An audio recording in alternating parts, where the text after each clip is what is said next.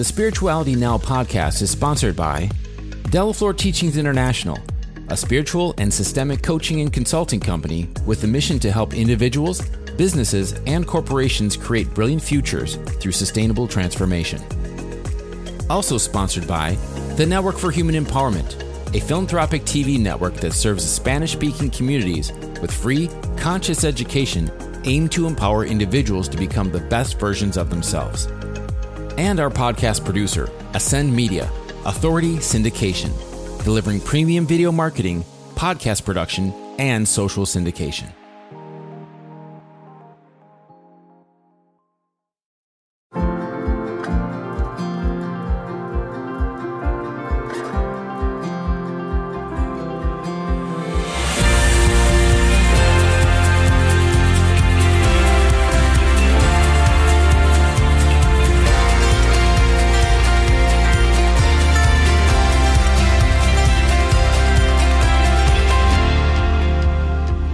Welcome to the Spirituality Now podcast, a podcast committed to supporting you in your journey to life mastery and personal enlightenment.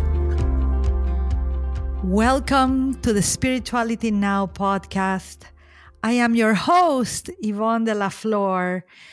And today I have such a beautiful guest with us, an entrepreneur, a business, I'm going to say business maven, but I also feel that she's, uh, is, a, is one of the powerful women that I have met that is driven by spirit.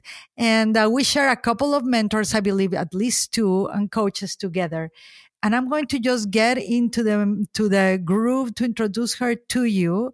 No more announcements, nothing else, because I truly believe that her um, her success story, not only in business, but in isness, in being who she is, in being who, who she fully came here to be in order to succeed in life, in business, in finances, in, in representing herself in the world, I think is very important. And this is a true spirituality that is needed in the world. Her name is Susan Beischel, designer and entrepreneur. She founded the luxury brand Skin in 2003.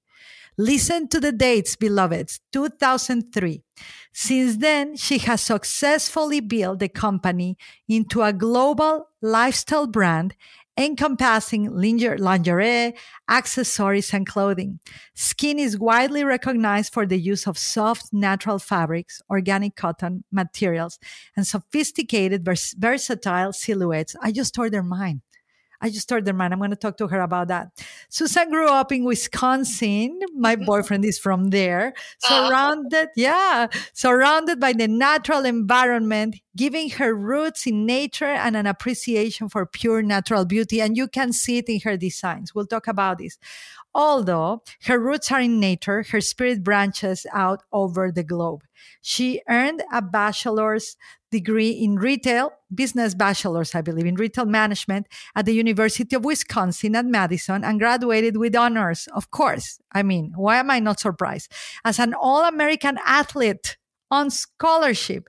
She went on to earn an MBA in entrepreneurship from the Kellstadt School of Business at the DePaul University of Chicago, where, where one of our mentors resides. Mm-hmm. And that determination and commitment to excellence, it's, it's, she's like next level of excellence. Actually, another of our coaches, she's excellence uh, and winning on repeat.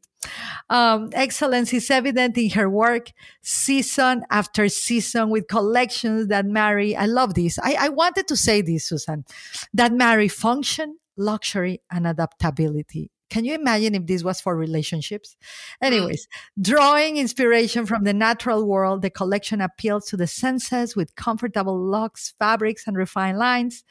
Um, skin, her company truly addresses the body by incorporating items that can be worn to sleep, to lunch, and to go from day to night. And actually that help women feel confident about themselves. I'm telling you, this, this is an amazing, amazing brand.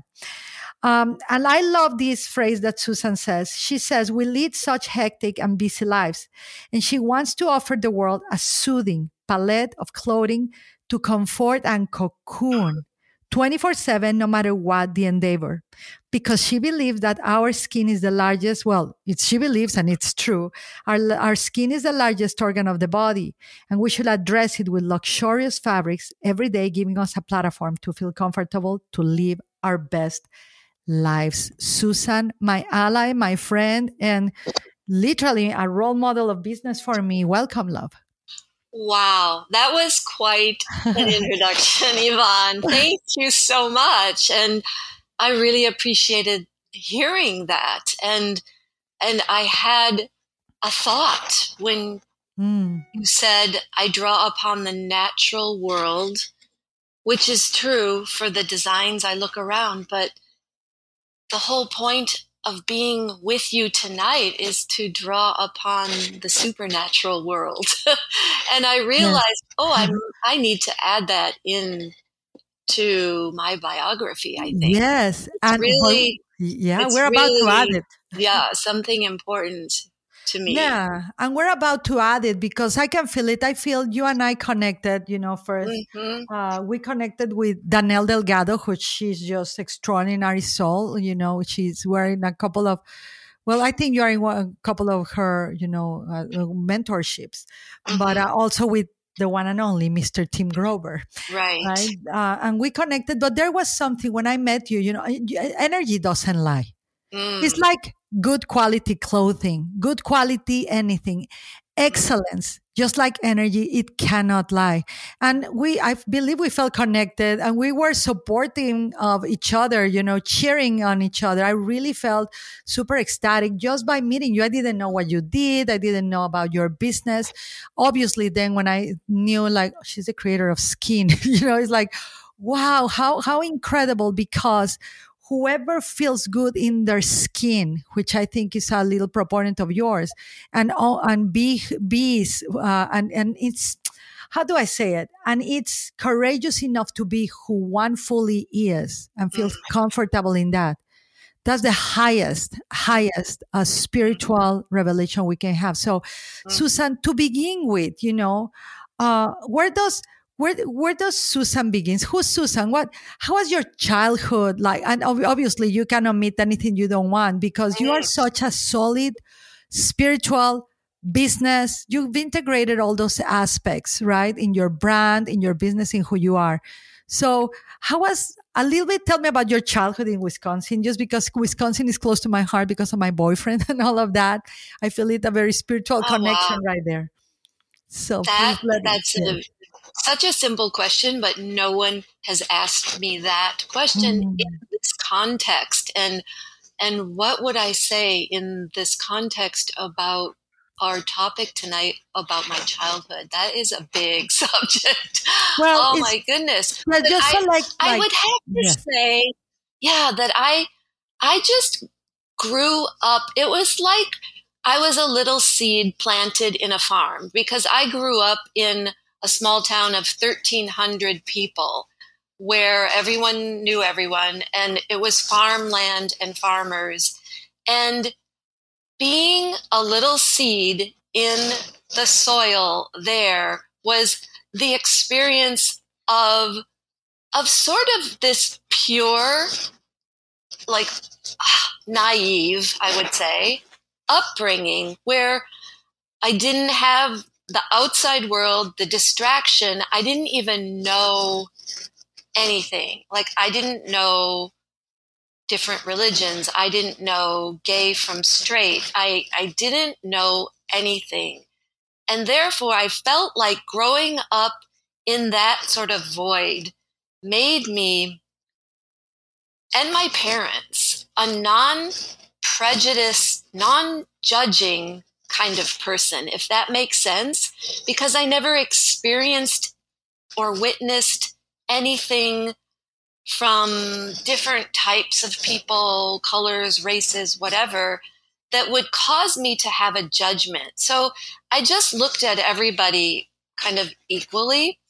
And that pure sense of spirit also allowed me to wake up every day with a natural innate sense of gratefulness. Like I've had, I've carried this whole spirit with me my entire life where no matter what tragedies or hardships or difficulties, and I've had them, we've all had them, but no matter what's going on, I'm able to just pop up in the morning and greet the sun and say hello to the world. Like nature, the the earth is such a part of who I am and how I grew up that it it's nourished me and carried me through what eh, whatever hardship as I said I could have experienced. And it as a child you don't really know that that's spirituality. In fact, going to Sunday school, I, I distinctly remember when I was six years old in Sunday school, I asked the teacher, I said, but it's not fair. I don't understand. You mean the little boy in Africa who doesn't know who Jesus is? He's never had the opportunity to hear about Jesus. You mean he's going to go to hell because he's never even heard of Jesus? You know, I knew at six years old that that wasn't right. So I knew spirituality and religion were two different things. I knew there was a connection I felt to something larger, um, the earth, of course, and examples from my parents when they didn't even know they were setting an example because they certainly had no clue about parenting. And I was the last child, so I got the least attention. Wow. Um, so I, I learned just by watching their behavior what was right or wrong. They never had time to teach me or tell me, but I could sense, like you said when we began, what energy, you can feel the energy. You know when you're doing something right. You have this moral compass inside of you, and your parents mm, like I said, whether they verbalized it or not, you just knew. And I think, I mean, this we're pro- I'm probably going way far away from what you're asking, but I feel like it should be said that I think we're all born with it, and then the world gets a hold of us, and we forget that we had a choice, and we could make a decision based on that internal moral compass or connection to source that we're born with. Do you wow. agree? Do you think that's Susan, true? Susan, you know, I always ask my questions being guided, right? Being guided. I feel a hunch. I, I trust my God. And you're the first person in all the podcasts uh, that I've done an interview that I ask about their childhood. Mm-hmm. And, and, and I've done work for more than 20 years on something called family constellations, childhood mm-hmm. trauma, trauma integration, and uh, and take it into a futuring way where we can actually, from the trauma, you know, earn our it's called dharma from the from the pain, earn our gold. And you are such a beautiful spiritual representation of this. You just gave like, as you were sharing, you know, the pure naivete, how you were raised, that you were a mm-hmm. seed planted in a farm. I love this because businesses, the world, relationships, it's a field where we will plant seeds. Mm-hmm. Everything that surrounds us is a wide canvas of creation. And I think you were, you were all the things how you said i was raised with no no prejudice and you I can see that in you. I could feel that. I could feel even in your brand, skins, mm. you know, what you sell. I don't even think white, uh, brown, tall, small, big, skinny, not skinny. I don't.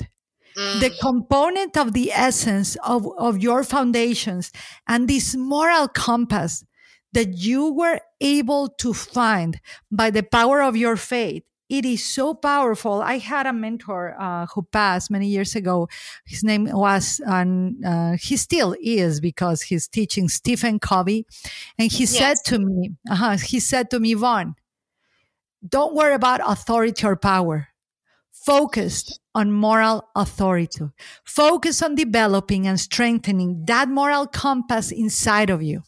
Mm-hmm. And once you find it, you will know what